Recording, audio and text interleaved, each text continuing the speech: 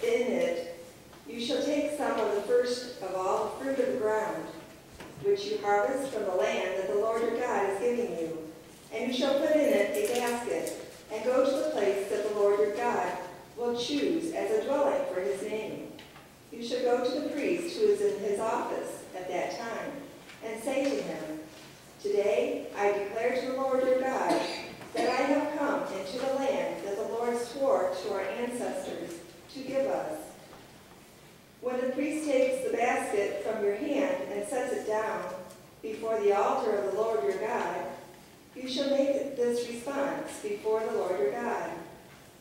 A wandering Aramean was my ancestor. He went down into Egypt and lived there as an alien, few in number, and there he became a great nation, mighty and populous. When the Egyptians treated us harshly and afflicted us, by imposing hard labor on us, we cry to the Lord, the God of our ancestors. The Lord heard our voice and saw our affliction, our toil, and our oppression. The Lord brought us out of Egypt with a mighty hand and an outstretched arm, with a terrifying display of power, and with signs and wonders, and he brought us into this place and gave us this land a land flowing with milk and honey. So now I bring the first of the fruit of the ground that you, O Lord, have given me. You should set it down before the Lord your God, and bow down before the Lord your God. Then you, together with the Levites and the aliens who reside among you, shall celebrate with all the bounty that the Lord your God has given to you and to your house.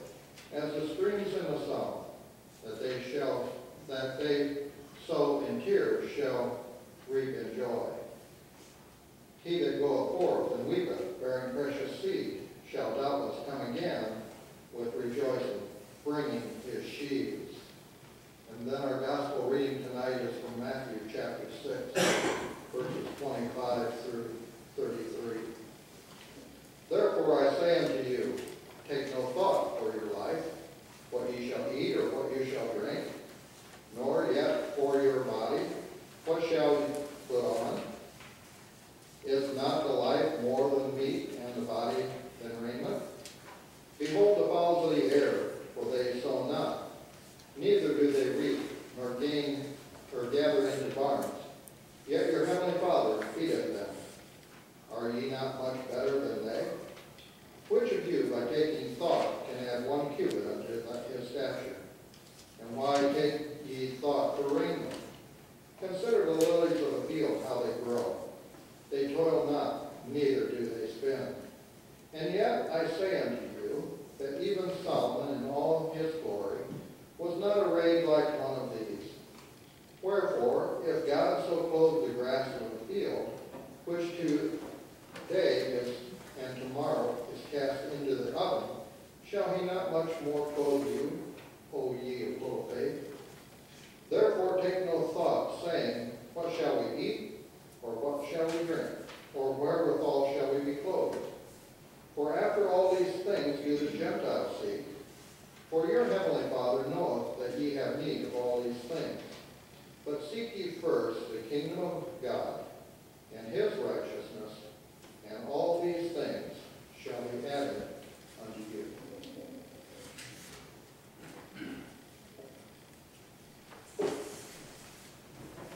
And let us sing together hymn number 534.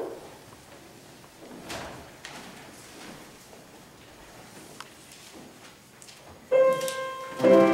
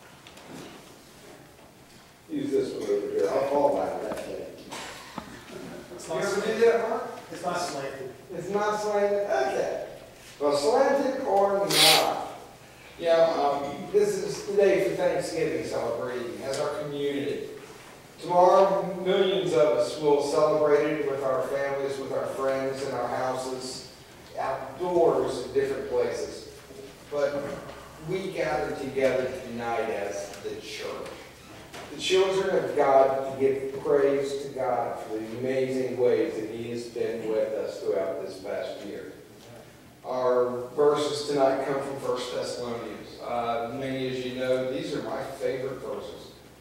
Fifth chapter, starting with verse 16.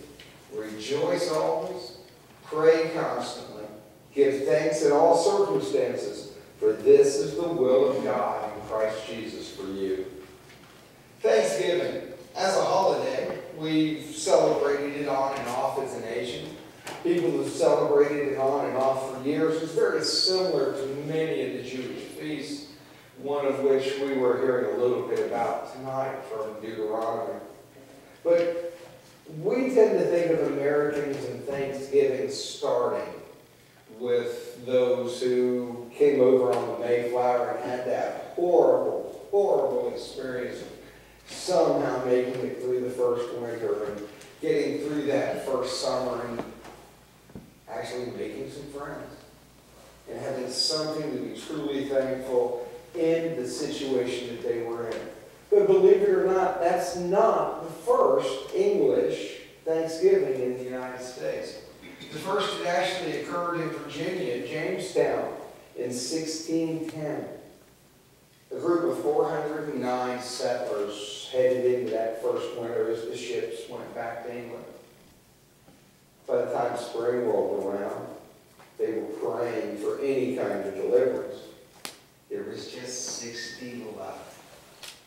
The survivors were praying, hoping for any sign, trusting that God would provide them deliverance, even though they didn't see any possibility for it. And sure enough, the ship arrived, filled with food and supplies from England, and they gave thanks. A prayer meeting was held to give thanks to God. It's come a long way, haven't we? Food. We've got food, don't we? We got food now. We can mass produce, produce food in so many ways. We cook food and show them in so many ways. There's food channels. There's how you do it shows on food. There's guys who have to go everywhere to find the spiciest chili or the strangest bug meal. we got food everywhere in our land, don't we? And yet, for some reason, we seem to be a land that we can take that food for granted. We see the people of New York City and of Maryland and Pennsylvania and New Jersey where that superstorm just came through and we see what it has done to those areas. Without electricity for weeks, some are still out today. Yeah, we live in McClure, so we know if the wind blows right, we can be without power sometimes. Yeah, but in all honesty, we come to depend on this stuff pretty regularly, don't we? It's wonderful to have. Yet, how many times do we say, thank you God, when we flip the light switch? The majority of our culture seems to live lives with an attitude of entitlement. I know the thankful people in our community are here tonight. Okay? Because, I mean, no matter how thankful we are to family or friends or this or that, if we're not thankful to God, we're asking for those blessings that God just gives out upon us and that so many times we take for granted to just be yanked right out from underneath us. Spoiled rotten little brats. For some reason, we feel we are entitled to better pay, better benefits, more stuff. Food will always be in our cabinets. And that's one of the good things about this community service. One of the byproducts of this service is the fact that there will be food in community cabinets. There will be people who are able to get things at the store like milk and eggs and cheese. Those things, that, you know, let's face it, you know, I, I, I'm really thankful I was born in the United States, okay? I like our food selections. I like our choices. I like the fact that I was born into a home anytime I came in, I could open the refrigerator and there was something there to eat. Or I could open the shelves and it had food in it and I could go, ooh, I'll have this today. Can you imagine opening the shelves and only finding cans of beans? Every day, every meal. How thankful would we be for that? But we should be, shouldn't we? You know, we've become a little iffy that way as a society. Our society speeds up quicker and quicker and quicker and quicker. I can't take time out for that. I can't do that. I can't do that. I gotta be here, do this. I gotta be there, do that. I gotta, I gotta, I gotta, I gotta. That's what Thanksgiving is about. That's what it used to be about. You know, it used to be Black Friday, okay? And Black Friday did not encroach on Thanksgiving. The stores closed so everybody could be with their families. Now we seem to be that the bottom line is we've enjoyed so many blessings that we just can't be expected that it's going to be flowing forever and ever. You know, I know the retailers make, make all their money during the Christmas season so that we can have cheap places to shop the rest of the year round. I get economics, okay? I get basic retail, no problem at all. But wouldn't their employees be happy? Wouldn't their customers be happy if they seriously took a day off and just spent it with friends and family? Someone was asking me, I can't remember who it was, what I've got my big plans for tomorrow are. They're big plans. I don't want these plans robbed from me because these are big plans for me tomorrow. Plan on waking up and playing with my grandson for a while. I plan on filling my stomach and his stomach till neither one of us can move. We're gonna try to see which one of us has bigger bellies tomorrow afternoon. And then I see us taking a nap. And then I see us, see us playing hard again. And then I see us eating again. That's my hope for my day tomorrow. And if I can have a day like that, I can't imagine a more thankful, more greater way to spend the day. So what are those things God gives us, isn't it? Family, friends. Those days where, you know, nothing else is expected of us. All we're expected to do is just be there. But God is in it. That's the way we tend to run our lives most of the time, isn't it? God, we want you here. We want you here for when that big thing comes up. And oh, by the way, God, you know this verse tonight? I'd be thankful in all things. Uh, sometimes I have problems with that thought. But I want you right here. Just, just be right here.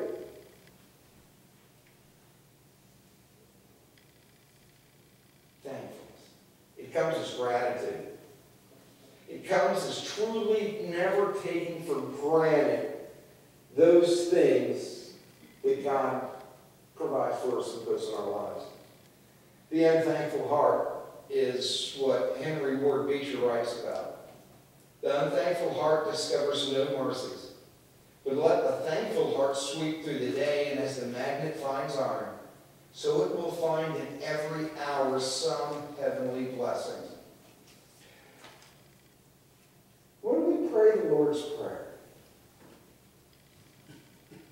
do we truly mean, Thy will be done? Or do we really mean our will be done? For me, know, lottery be nice. You know, job with more money, this or that. More money, less hours. You know, more money, less responsibility. You know, all those things that we tend to think could make life better. But the phrase is give thanks in all circumstances. This is God's will for you in Christ Jesus. This past Sunday, I talked a little bit about this you. It could have been written as everyone, but it's not a plural you. It's an individual you. It means that God knows us individually. He knows, knew us as we were knit together in our mother's womb, and He gave us the breath of life. It's an amazing thing. All the more reason we should be thankful to Him, right? It's a very good thing to have. I, I, like living and breathing, okay? Yeah, I like to play hard. I like to work hard too, but I like to give God thanks. Now, in all circumstances, it can be a hard thing.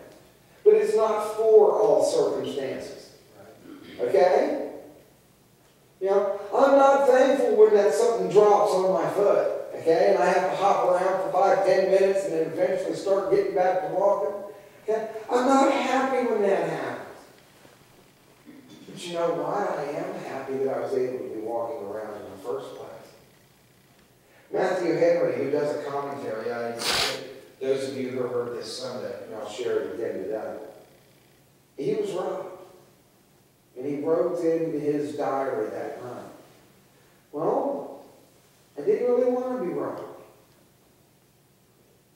But all he took was my money, which really wasn't much. I could have been killed. It could have been much worse. And what I'm most thankful for is the fact that it was I who was robbed instead of I who was doing the robbing.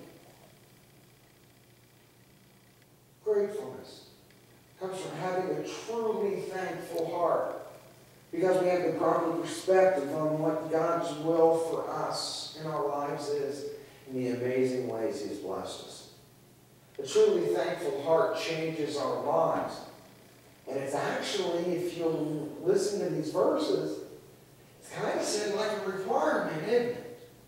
Rejoice always, pray constantly, and give thanks in all circumstances. For this is the will of God in Christ Jesus for you. Paul realizes that God uses difficult times to strengthen our characters, to strengthen our faith, to strengthen our lives in ways that, well, let's face it, if, if it's all good, it's all good, right? Everything's okay. We're going to get there. We're going to do it all ourselves. So I to think we can look around and see the room so empty tonight. Because we tend to have so many of those people around us that they'll handle it themselves. I'll be okay. You don't have to worry about me. Don't tell me about that. I'll be okay. I got it. Me and God's got a deal. Well, Thomas Merton, who was a Catholic monk, wrote, Gratitude takes nothing for granted. It is never unresponsive. It is constantly awakening to new wonder and, and to the praise of the goodness of God.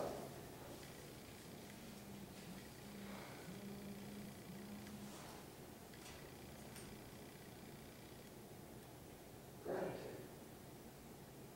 Sometimes hard, isn't it? Be truly thankful. We got so many things happening in life. We got so many things that are needed. You know, um, how many tomorrow will have a kind of hurried morning because you're planning on cooking 20 dishes for the family tomorrow? Anybody planning on doing that? Yeah. How many leftovers will you try to send home with some of them that'll say, I don't want to take that home. It'll just spill it in the car. Yeah. There's some things we should remember to help us stay thankful in a world that gets to be more and more unthankful. We are not entitled to what we have. Everything we have is the gift from God. From every blessing that we touch in this life to the greatest gift of all that He gives us, His Son, Jesus Christ. Everything comes from God.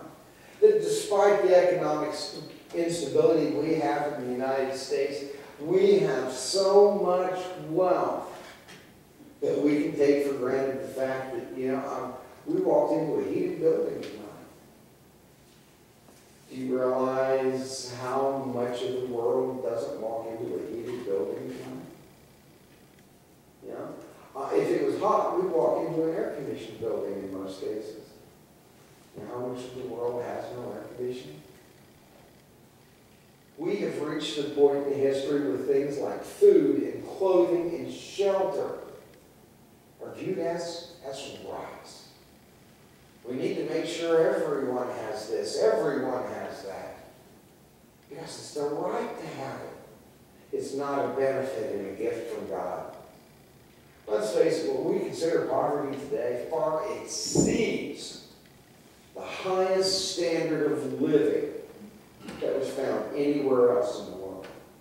Our lowest level of living here in the United States still exceeds the highest standard of living in 95% of the world. It's amazing. A great portion of the world looks at the United States and all it sees is great wealth, great food. They see, oh my gosh, can you imagine going to the grocery store and not having five brands of vegetables to choose from? Oh, I'm sorry, I mean five brands to choose from for each vegetable. Can you imagine that? Can you imagine going and maybe not having green beans for another three or four months, or corn for a couple of months, or meat? Meat? Yeah, yeah, sometimes you might get some meat.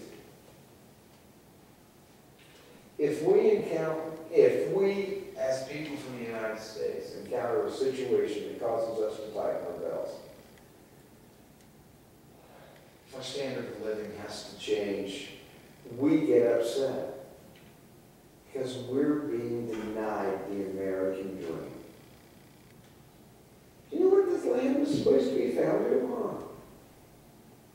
Founding fathers weren't developing this land and, and going through the struggles that they did just to get themselves away from more taxes and a repressive government and that.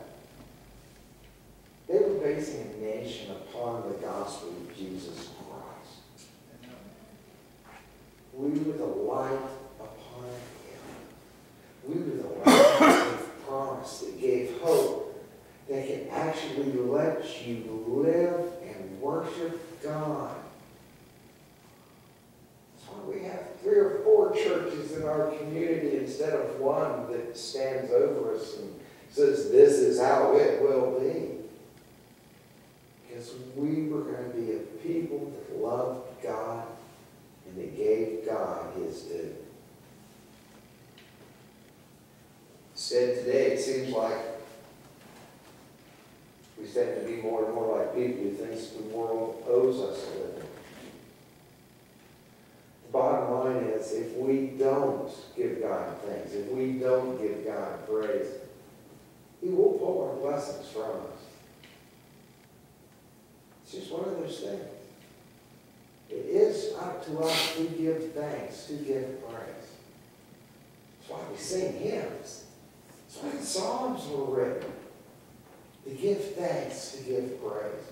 And that's why we gather together as a community.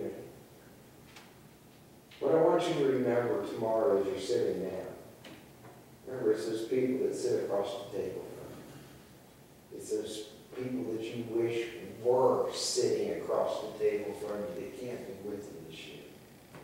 Remember it's the things that God has placed upon your table. And the fact that it is God who holds that very table up himself and you and your life and your family. Keep that in mind. And as we sing our closing hymns tonight, remember that thankfulness as we sing, as we give God the praise and the thanks for what he's done. Let us pray. Dearest Heavenly Father, we thank you, Lord. We give you the glory, the honor, and the praise, and all the amazing ways that you have watched over us and cared for us. We ask, Lord, you allow your Spirit to reign in our hearts so that your gratitude, or that our gratitude for you, will just be appreciation. That all of our days will be a spontaneous expression of your love and our thanks. Allow it to be continual, not just occasional. And help us to give you thanks for all the ways that you make life. In Jesus' holy name we pray. Amen. I didn't bring my paper with me. Imagine you guys can see it on our slide. But let us uh, sing our next next hymn, How Great Thou Art. 532.